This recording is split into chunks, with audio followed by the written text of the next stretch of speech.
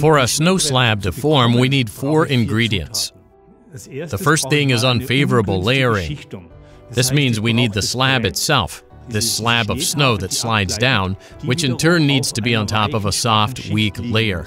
Otherwise, we're missing the requirement that will allow us to get the slab moving at all. The second thing we need is a skier, or the stress element, the initiation as it is referred to, so someone who triggers the slab. The third thing we need is the ability of the slab to propagate the crack in the weak layer. This way the slab gets really big and can release in one go. This ability to propagate is a particularly characteristic indication or criterion for these snow slabs that is difficult to assess. And the last ingredient we need, the fourth one, is sufficient slope steepness. As we've already heard, the snow will only start gliding on slopes of 30 degrees or steeper, and the average steepness for skier-triggered slab avalanches is 38 degrees. When estimating avalanche danger, it helps to compose a specific grid, and the ideal grid is this 3x3. 3x3 means that for conditions, terrain, destination, and people, we take a look at the spatial levels, first the tour planning, then the tour in and of itself, and finally the individual slope. And this grid makes it easy to break down and deal with each of the aspects.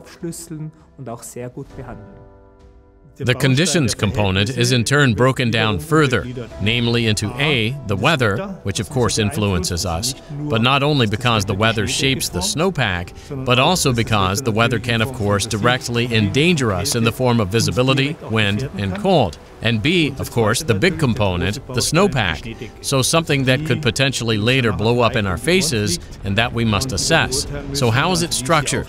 Where are the weak layers? How dangerous is it today? When it comes to weather parameters, we actually have three key areas. Precipitation, which predominantly refers to new snow but could also be rain. Wind, regarding the strength and direction of the wind. And temperature or sunshine, which refers to the amount of heat being added to the snowpack. When we look at precipitation, we have two major points. The first is precipitation in solid form, in the form of snow, which we take into consideration when planning a tour and also in the mountains. The second is rain. Rain is actually especially critical because nothing adds as much heat, as much melting energy to the snowpack as rain. Let's stick with snow for now. When it comes to snow, the main concern is the critical amount of new snow. So when temperatures are very low, the snow falling is dry and the surface is very smooth. The deposited snow can't bond well and is susceptible to stress. In this case, we can predominantly expect loose snow avalanches.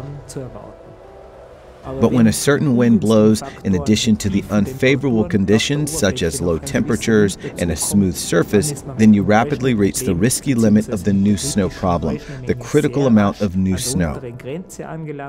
This means that even 10 to 20 centimeters is critical.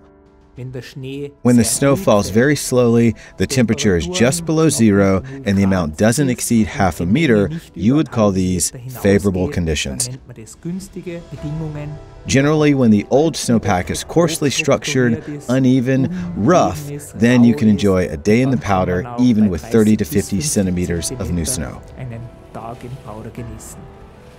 When it comes to temperature, there is a kind of normal distribution. So very cold is bad, very warm is bad. In between is not so bad.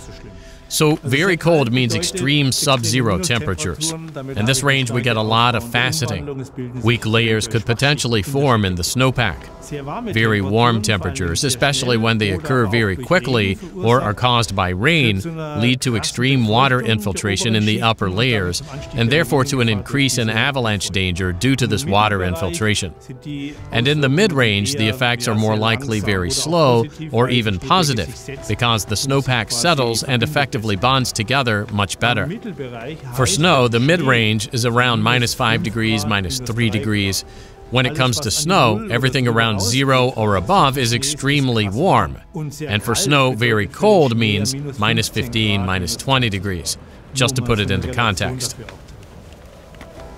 The wind is the architect of avalanches.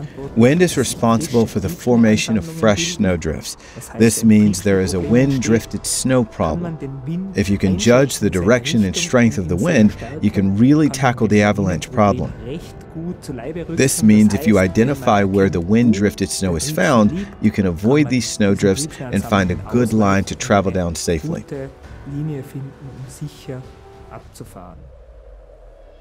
Basically, when it comes to snow being drifted by the wind, there are two different areas. The first is blowing snow, which means you have precipitation, snowfall plus wind. In this case, the snowflakes are directly drifted and transported from the windward to the leeward side, mechanically broken down by the wind bonded and thus form snowdrifts. The second is drifting snow. This means even when the weather is fine, a strong wind can erode the snow surface.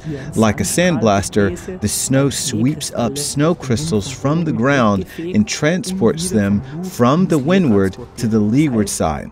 This means that fresh snowdrifts can be created even in periods of fine weather if there are sufficiently strong winds over 40 kilometers per hour.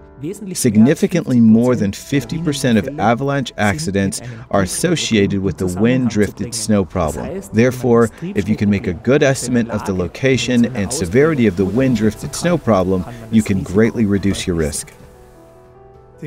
I can find the entire progression of weather conditions throughout the winter in the snowpack. I'll find warm periods, warm phases in the form of melt-freeze metamorphism in the snowpack structure. Faceted crystals are evidence of long cold periods. If it has rained, I'll find an ice crust caused by the rain. And so the snowpack is effectively a mirror image of the progression of the weather. If we now take a look at our avalanche problems, they can actually all be exactly ascribed to the weather as well, to these different influencing factors. Relevant to us is precipitation, the new snow problem. We have the wind, so the wind drifted snow problem. We have temperature, or temperature increase, therefore the wet snow problem. And due to the cold, we have this persistent weak layer problem, which is not a direct effect, but faceted, loose crystals are formed due to the cold. And sometime later, these are covered by wind and precipitation, and the problem is then saved here in the snowpack, a persistent weak layer problem. This effectively means all weather factors create an avalanche problem, either in a negative sense or even in a positive sense. For example, when a temperature increase dispels a faceted weak layer in the snowpack. It can also have a repairing function.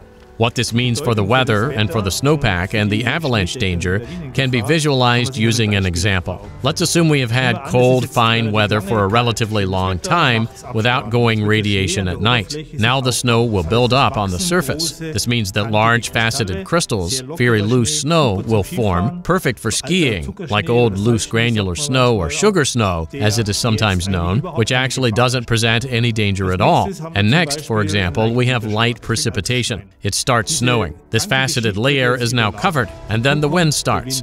So more snow is added by the new snowfall, but also by the snow that is deposited on top by the wind, but the wind also packs it. So the crystals are broken up, densely packed, and become brittle, the perfect slab. Another contributing factor is the terrain. We know that avalanches are more easily triggered on steep slopes than on gentle slopes. The higher the danger level, the more slopes can be triggered, the easier the slopes are to trigger. When combined with slope steepness, it becomes clear the higher the danger level, you should choose the gentler slopes. Because when the danger level is high, you also have to consider remote triggering and spontaneous avalanche release. This means that the slope steepness limit of 30 degrees is generally always relevant but at higher danger levels, avalanches can spontaneously release in distant hazard zones and endanger a group. When it comes to terrain, it is important to watch out for terrain traps. This means escarpments, gullies, ditches should be avoided without exception. Here you have to primarily consider the consequences. That means that if you fall over a wall of rock, you don't need the addition of the avalanche for the results to be fatal anyway. And in ditches, even a small avalanche is enough to bury you very deeply. The consequences are correspondingly dramatic here, too. This means that terrain traps are always the top priority when assessing the terrain. Generally, there are also favorable terrain features such as terraces, undulating terrain. Broad ridges that are not too steep are more favorable than very structureless, steep slopes where there are major differences in the depth of snow.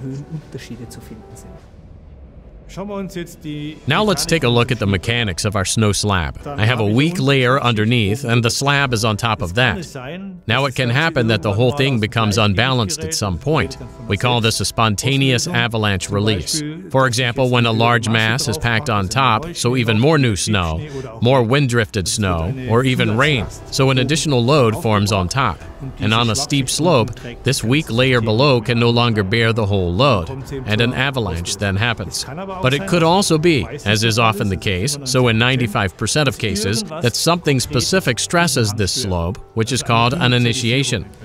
The skier skis onto the slope and reaches the weak layer. Due to their body weight, their load, they really reach this faceted weak layer and stress it in just one small place, only under their skis. And the next question now that there is a crack, that the weak layer has collapsed is, will it spread, will it propagate, or will it stop? And if both the slab and the weak layer are fully spread out over a large area, then I have this situation where this slab suddenly goes, within a fraction of a second, this crack spreads and the entire slab starts to slide all at once. When it comes to avalanche danger, the people factor plays a particularly major role. 95% of avalanches are triggered by tours and freeriders themselves. This means that if we behave correctly, we can prevent the majority of accidents.